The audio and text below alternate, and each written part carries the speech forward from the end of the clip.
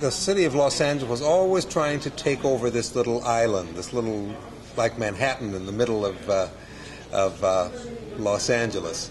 And the pressure was tremendous. Uh, there were very good reasons for Los Angeles to take over this community. Uh, it was in the way. Uh, as recently as today, I was reminded uh, that the freeway was supposed to come through here. Route 2 was supposed to come along Santa Monica Boulevard, but Beverly Hills blocked it. And many people in the city thought it might not be a bad idea. But the motion picture colony, headed by Douglas Fairbanks and his very wonderful wife, Mary Pickford, organized a group of people, with others, of course, in the community, to keep the independence of the city.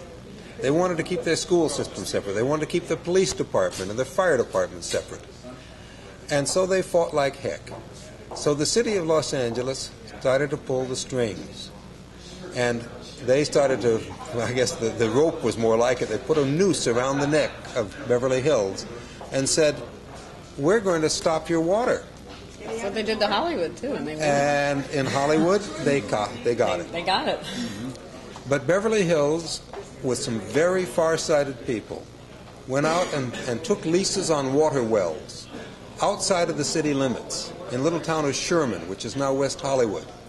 And they pumped this water into Beverly Hills, and then they had to, by pipeline, they didn't have to worry so much about uh, eminent domain. Well, they did worry about eminent domain, but they didn't have to worry so much about uh, protection of the environment then.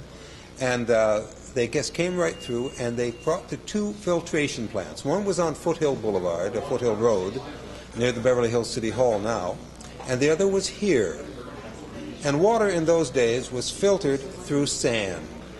There were holding tanks for putting in the chemicals that were necessary. Chlorination was the major reason the thing they did. Now they use much fancier things.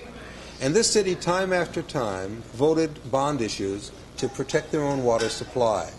And one of the first bond issues was to build this building. Three or four hundred thousand dollars wasn't very much. In those days, the engineers weren't quite so precise with the computers, and so they, if they were going to err, they were going to err on the side of strength, and especially with a building holding large amounts of water. They wanted to make it look like Beverly Hills, and they did it.